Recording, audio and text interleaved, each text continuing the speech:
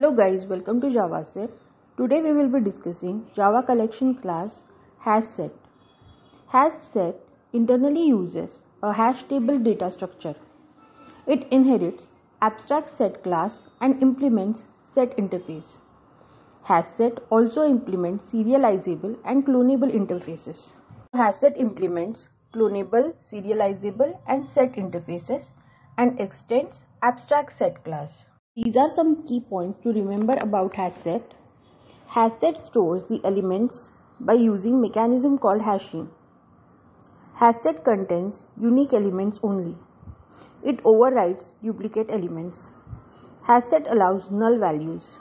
HashSet class is non-synchronized, so we need to be careful while using it in multi-threaded environment. HashSet doesn't maintain insertion order. Elements are inserted on the basis of their hash code. HashSet is the best approach for search operations. So if we are building any search operation, then it is the best collection to use. The initial default capacity of HashSet is 16.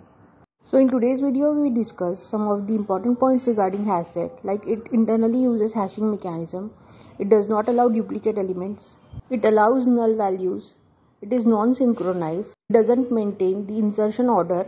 For search operation it is the best collection to be used and its default size is 16. That's it for today from Java SIP. Please do like and subscribe. Thanks for watching.